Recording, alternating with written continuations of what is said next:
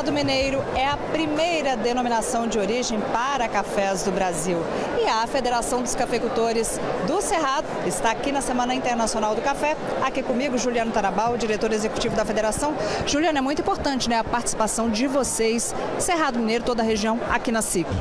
Sem dúvida, Graziela, essa é a maior feira para café no Brasil, que integra produção, é, indústria e consumidores. Então, a nossa região através das cooperativas e associações, investe, né?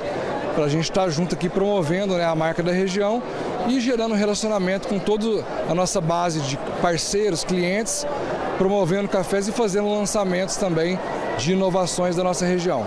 Hoje a federação ela tem quantos municípios envolvidos? O Cerrado Mineiro abrange 55 municípios, né, que está ali na uma parte do Noroeste, uma, todo o Alto Paranaíba e uma parte do Triângulo Mineiro.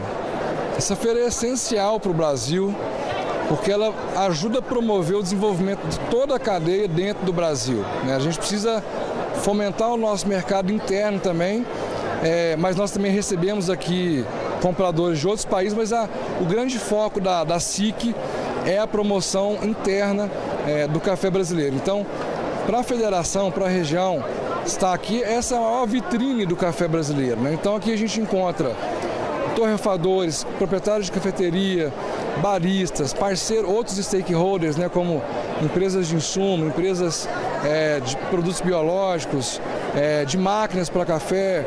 Então toda é a única feira no Brasil que consegue reunir todas essas tribos, né, vamos dizer assim, e também tem uma parte de conhecimento muito importante, né? Tem inúmeras palestras, painéis, encontros, como encontros de mulher, é, tem também é, palco né, e holofote, momento para poder, poder fechar parcerias.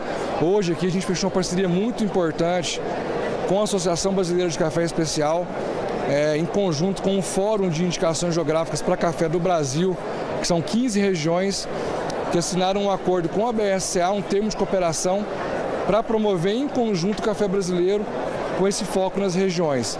Então tudo isso foi feito aqui na SIC que oferece essa oportunidade de estar todo mundo junto, né? Então é essencial. Eu acho que quem, tá no, quem trabalha com café e não vem na SIC, e ele ficou um pouco mais por fora ou atrasado em relação a esse movimento que a SIC proporciona para o café brasileiro. E nós percebemos né, que vocês fazem vários cuppings aqui no estande da federação. Qual que seria o diferencial aí dos cafés do Cerrado Mineiro? Então, a gente tem um leque muito abrangente né, de, de, de cafés é, uma roda de sabores. O principal diferencial do Cerrado Mineiro em relação à qualidade é, é a consistência da nossa qualidade. Então, ano após ano, os compradores conseguem adquirir cafés com determinados padrões que leva para um, um, chocolate, um caramelo, uma acidez cítrica, é, um, um, um retrogosto mais longo. E, e isso é a base do café do Cerrado Mineiro.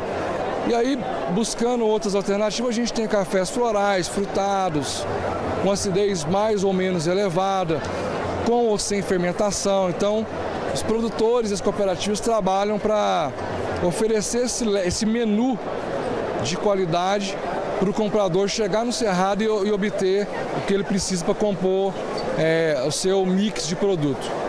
Agora, vocês lá na região, vocês estão com um trabalho muito bacana, forte, para a cafeicultura regenerativa. Esta é a tendência do momento. Sem dúvida, é um posicionamento que a gente está adotando, porque isso já é uma realidade na nossa região. E o que, que é a cafeicultura regenerativa? Nada mais é que promover a agronomia dentro das propriedades.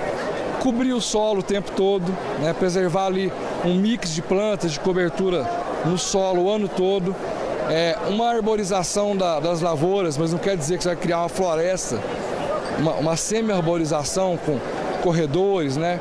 É, uso maior de produtos biológicos, o aumento da produção de água.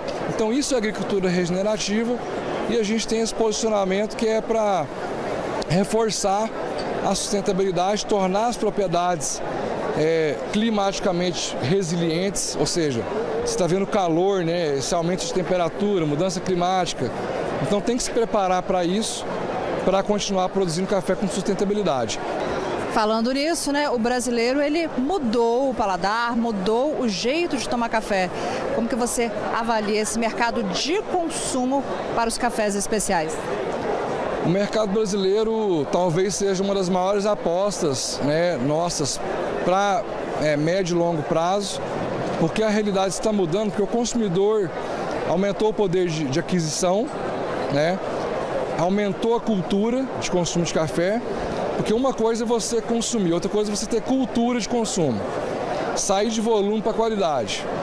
As grandes marcas no Brasil estão investindo no café especial, então hoje é mais fácil você chegar na gôndola e encontrar um café especial, ou no e-commerce, ainda nas cafeterias, que hoje você tem aí várias redes com 500, mil lojas em processo de expansão. Então, é, eu diria que o mercado que mais vai crescer no especial no mundo, nós vamos crescer mais que Estados Unidos e mais que a Europa, porque lá já está mais consolidado. E aqui a gente tem uma, uma avenida de crescimento que é substituir qualidade por volume. E claro, os cafés do Cerrado Mineiro presentes. Sempre, a gente, a gente faz o trabalho para que o cerrado chegue ao consumidor. É, o que a gente quer não é vender café, é vender história, é vender origem, né, vender experiência. E, e obviamente, se a, se a escolha for Cerrado Mineiro, a gente vai atingir o nosso objetivo de chegar até o consumidor.